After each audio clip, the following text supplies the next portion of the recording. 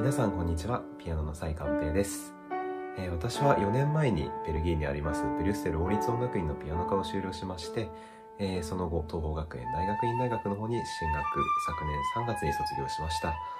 えー現在は仙台を中心に演奏活動を展開しております。皆さんこんにちは。フルートの北村京子です。私は上野学園大学を卒業し東京音楽大学大学院科目通り修を修了して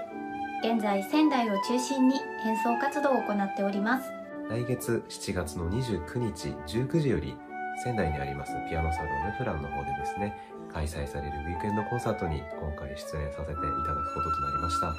今回はロマン派から近現代までのフランス人の作曲家による作品を中心に、えープログラムを組ませていただきました。中でも今回はサロン音楽ということで小規模な編成かつ落ち着いた雰囲気や爽やかさ軽やかさといったそういった特徴がある楽曲を選曲いたしました。これらの楽曲を今回のテーマにぴったりなフルートとピアノのデュオという編成でお届けいたします。私はピアノソロの作品も演奏させていただくんですけれども一つはフランスの代表的な作曲家ドビュッシー。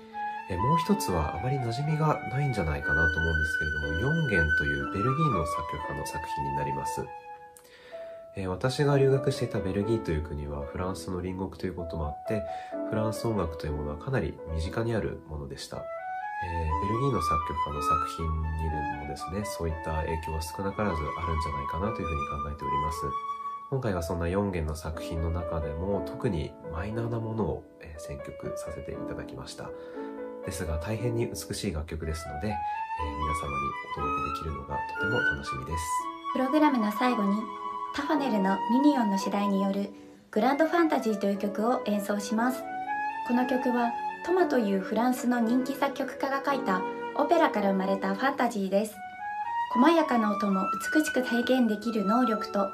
演奏者の技量を試すような構成となっておりとても華やかなオペラを連想させる一曲です。どの作品も個性的で大変美しくバリエーションに富んだ内容となっております。